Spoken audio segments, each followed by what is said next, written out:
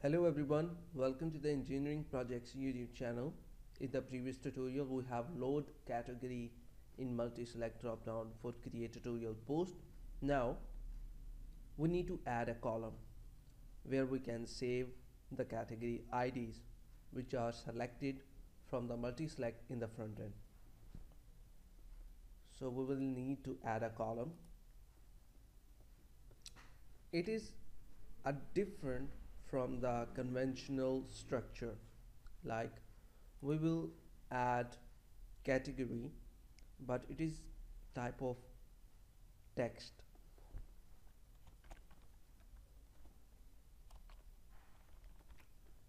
But it will store primary keys. Allow null no problem allow null now create script the reason behind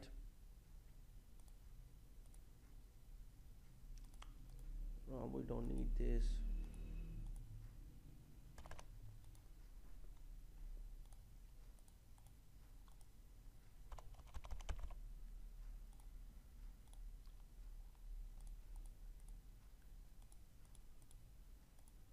Okay once again we will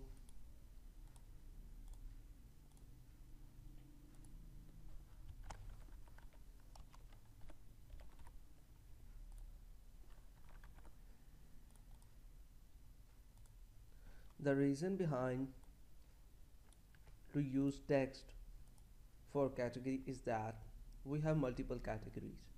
So user can select multiple IDs so we will use to store comma separated IDs within this text column. It is added here. Now we will do a practical here by inserting some IDs but before that we will use to fetch the IDs from the category table.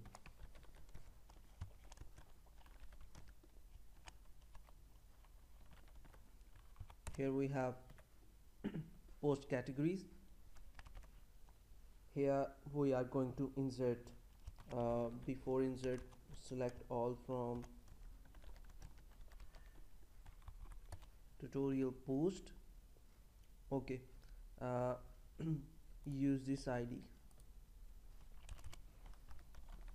update tutorial post. Set category is equal to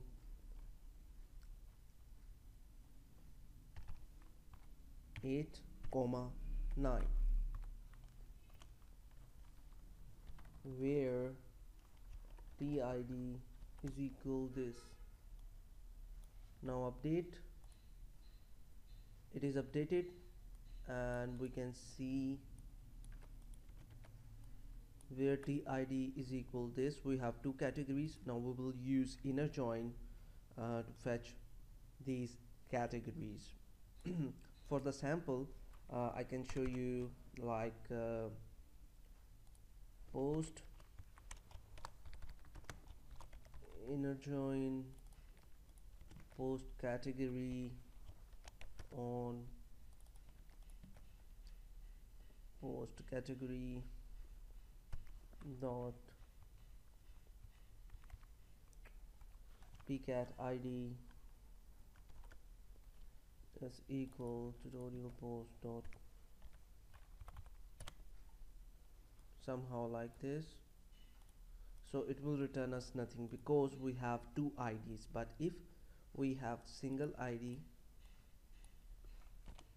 like this it will give us the data. Oops uh, we don't need to use TID we need to use category. Yes now it will return us the record.